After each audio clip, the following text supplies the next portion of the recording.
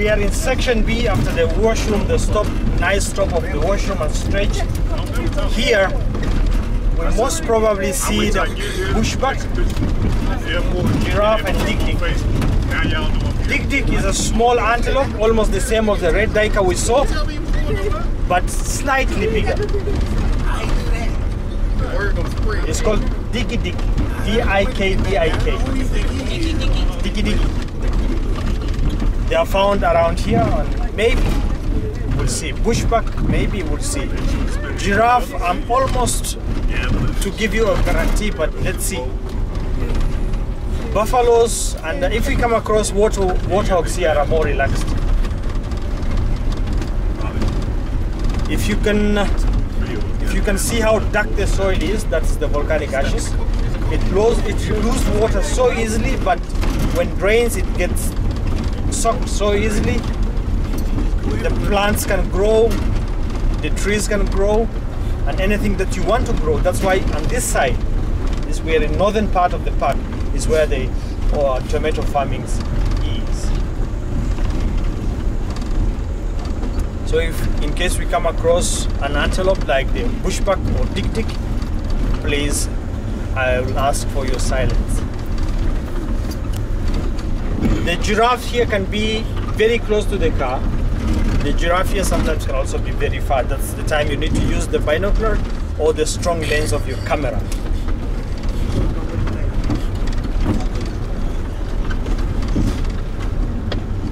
You can tell how easy it was during the days of John Wayne to hunt animals here. It's very easy because the animals cannot easily see you. So because they cannot easily see you, can shoot from a very close distance. Baboon here. They are all matching.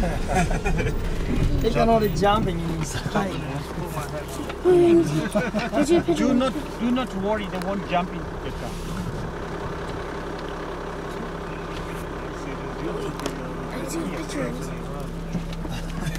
You cannot feed them even. No, no. We don't. That's a good question. When we are in the picnic site or out, do not feed animals. Don't feed animals. What are you gonna do? They're gonna come back for more. Once you feed somebody or something, Animals come feeding back can for change more. their behavior. So we try not to. How come some of them have like a swollen butt? Those are female, Female got the and then ostrich. Female tends to be pinkish red, and male will always stay dark.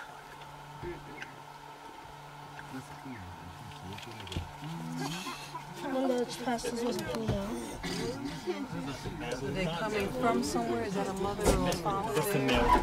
Maybe they're coming from a tree, and now they're heading to water.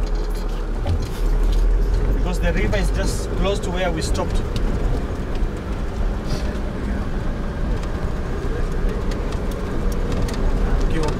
Ukikaribia house mama kidogo.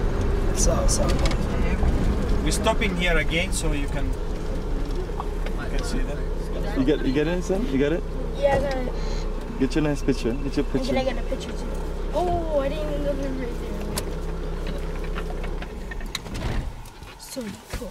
These animals are very smart. The only thing that they do and being distinguished from us is that they can do things we, we cannot do. They can sit in their own poop, which you cannot. Abambino jimbo zetu. Shouldn't. it's not recommended. So it doesn't bother them. It's just a part of their Daily life. daily life. Oh, So It's- how do they it's our bathe cousin, and clean so- themselves? Sorry. How do they bathe? Like what would be their The, natural habitat to bathe? they, they they normally go down into the river and swim. And swim. Yeah. I have seen them swimming in Tarangire National Park. They doesn't like a lot of water, but if it's time to swim, they can swim. Do they clean each other, don't they? They they, they Clean each groom other. each other. Each other. That's a social life. Hold on, the bus is moving. So the, to keep the social life, they, they groom each other, What are and mostly trimming something? male and female. Trimming something? What how are they grooming themselves? They they get like takes Takes off uh, each other. take off each other. So they, they live together. Mostly, if you find the grooming, is male and female, or age mate. The, the, the boys of the same age, female of the same age. Other animals, if one died, they'll just leave it there, the dead body, and go. But the female baboon, if her newborn is died, dead, dead, she will carry that carcass everywhere she goes until it cut, broken into small, small pieces. Because she will never, she doesn't really agree, she will not really accept, she will not really take that situation that it's true that the baby is dead. You see the birds? Those are the uh, helmeted guinea fowl. Government chicken. Wait, wait, wait. Helmeted guinea fowl. They are very tasty. Yes, they are. You look at the big Very tree there? tasty. I, I, I eaten them when I was in Nairobi. Oh, they good. I went to that carnival restaurant, and there they were serving. Uh, you can stand up for money. Yeah, kind of You can come up with money, and then you can see them.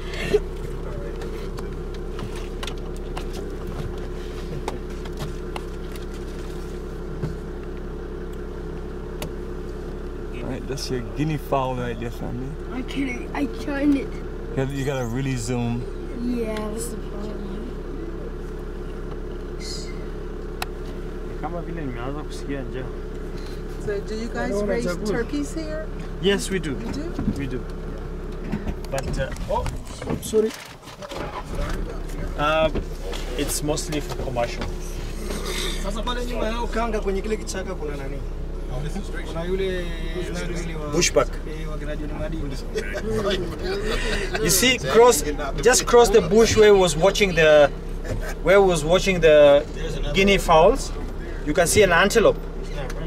Vuta mbele, vuta mbele, vuta mbele. Oh, it, I see it. Nope, too late. It's gone into the bushes. Another one.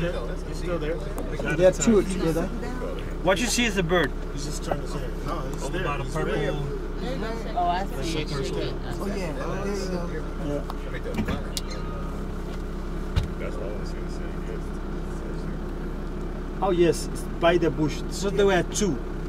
By the bush there, there's a male. The male is left there with his straight horns. What is that? Can you see it? Come on. No. You see the first uh, guinea fowl? Yeah. Go straight from it. There's a bush with the white uh, thorns. What is that? Hey, pull up a little bit so we can see. What Vuta mbele kidogo. All the that? devices moving. It's just a bug. And now, now, now you can see. Okay, come out from here. Just past these bushes. The first tree, the second tree. A bit to the these bushes here. The first one, the second one. A bit to the left, you see the a small round bush with white thorns. Just before the tree. It's against the bush. There's wagon stills. Whoa, whoa, what? What's problem? Let's see if I can get you in, family. What is it? Bushbuck. What is it? Male bushbuck. Where is it? The bushbuck is named after its lifestyle by hiding or it? stalking into the bushes all the time. It's Where is definitely the hiding, sir. It's hard It's to in the see. distance. We'll see it again. Okay, we can move. Yes.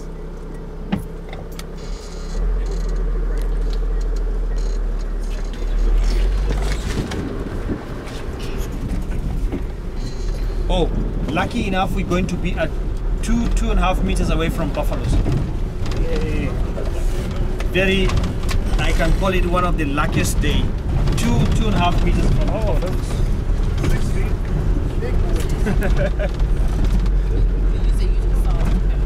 Six